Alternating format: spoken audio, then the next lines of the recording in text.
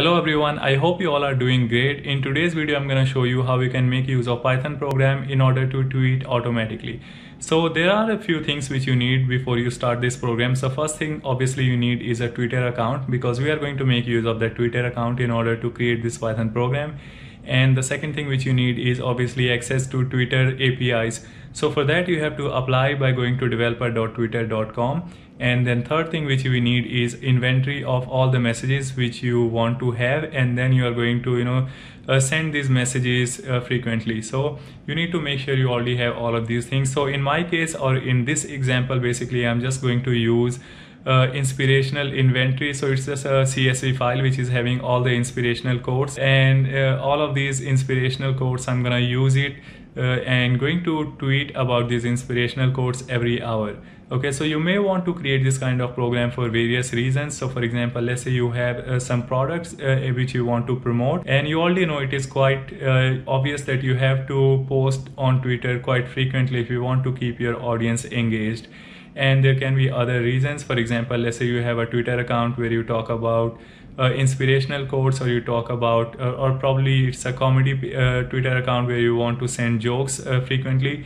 In that case you may you know want to create all the jokes at once and then you want to post it let's say once in every day okay? So there can be very uh, various reasons in which you want to use this kind of uh, automatic program.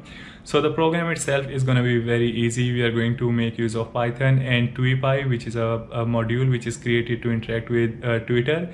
And using this everything becomes so easy now once you have the program created after that you don't want to you know run this program obviously on your desktop because then it's not going to be running 24 by 7 you are going to shut down uh, your desktop or laptop whatever. So in that case you need to make sure you also host this program on one of the you know providers hosting providers which allow you to run python programs and if you don't want to spend any money in that case you can make use of IBM cloud. Uh, they provide you option of you know signing up without credit card and also they provide you option of running any sort of python functions uh, which doesn't really require you to create a server. You can just create a function. You can provide your python code there and then you can also schedule this code uh, to run uh, at whatever interval you want. So for example, if you want to run it every hourly, you can go ahead and schedule it to run every hour. Uh, so that's pretty much about uh, this program. Let's go ahead and I'm gonna show you how I have created this program. I'm probably not gonna go into more detail of this program.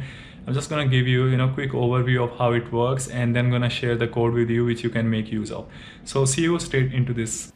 So now here on my Twitter account you can see these are the you know tweets which has happened automatically and all of these you can see these are having the same hashtag because this is coming from the program. And the only thing which is changing is uh, quotes and uh, you can see all of these quotes are coming straight from this uh, csv file which i had downloaded.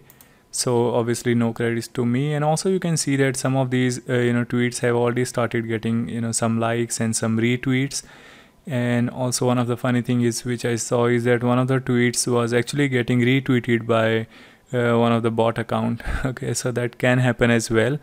Uh, but yeah so i'm almost running this program from uh, 24 hours and i can see that you know uh, uh, the tweets have been happening uh, regularly and there is no issue which i have seen as of now. I don't really see twitter, twitter trying to block my account in any way. And also you know the kind of traction which i'm getting is not really quite good as of now. I just see you know a couple of likes on some of the tweets but that can be because you know all the tweets which i'm posting is it is related to age and probably not really related to some of the other uh, uh, genre which does good.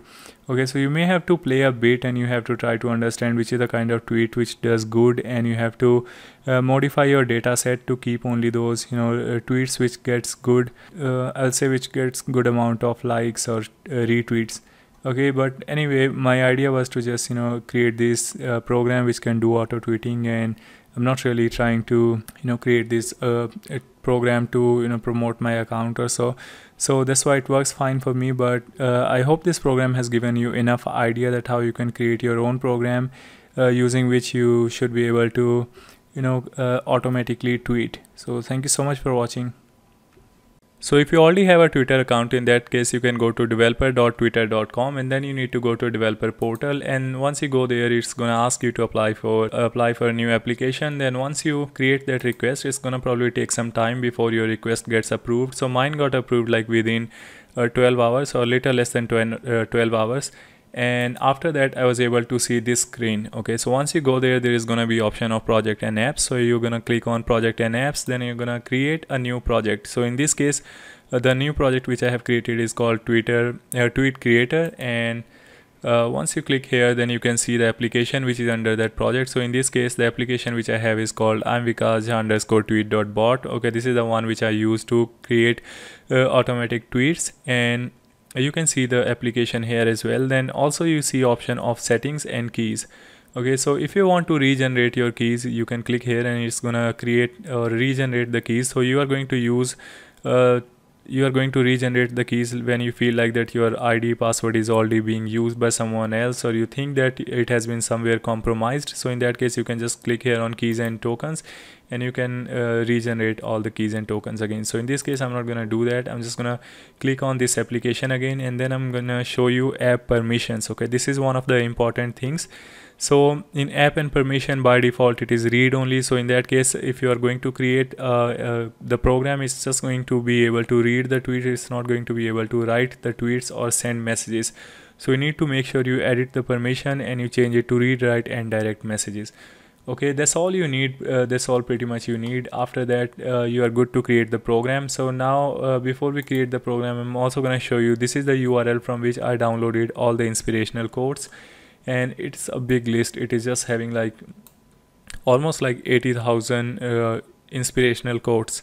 Okay and also if you see uh, yeah you can see here it is having like 75,000 inspirational quotes. So uh, after downloading that I just uh, use pandas and then with that uh, with the help of pandas I read this uh, quotes.csv and the separator which is being used in this uh, file is semicolon. So once you do that you can see uh, df.shape which is telling you that it is having 75,966 uh, records and it is having three columns. Now if you want to see the columns uh, there are three columns which is called quotes author and genre. So if you uh, select genre you are going to see that it is having inspirational quotes about uh, many you know topics. And from that topic we are going to just pick one of the topic uh, and going to send tweet and now uh, in order to you know understand this program you need to understand bit of python because i'm not to go into a lot of details about this program but only important thing to remember here is that we are using tweepy. So you need to make sure that you have already installed tweepy by using pip install tweepy.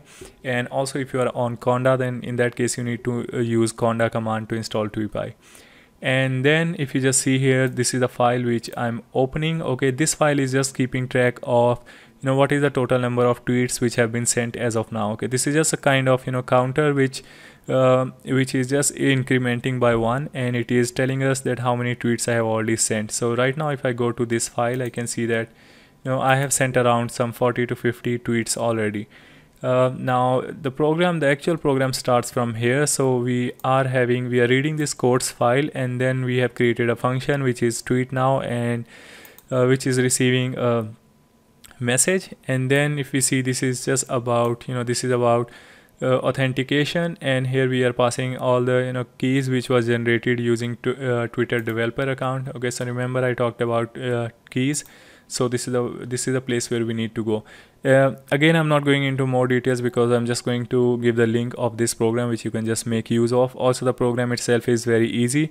So if you see once you make the successful authentication after that you are just going to and after that you are calling this api again to update the status message. So by update status message what i mean here is that you are uh, basically updating a tweet or creating a tweet whatever you want to call it. This is where our program is actually you know kind of starting from. Uh, here we read all the items which are available in data frames. And then if you see here i'm seeing whether the index is less than latest tweet number. So what we are trying to do here is if you remember i told you that we are keeping a counter. So we are just checking whether the latest message which is available in the file is less than the counter. So if it is less than the counter then we just want to ignore it. So basically we want to continue looping through.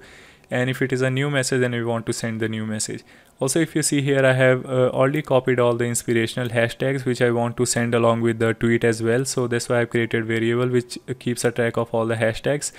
And then uh, we are calling tweet now function. So this is the function which we have created. Okay and this is the function which gets called when you uh, when you call it by using tweet now. And also here we are passing the quote okay this is the inspirational quotes which we are passing. And also we are passing the name of the author because I don't want to just pass the name of the tweet without uh, giving credit to the author. And then you also specify the hashtag. So this hashtag so basically all of this gets uh, combined and it gets sent by using this function.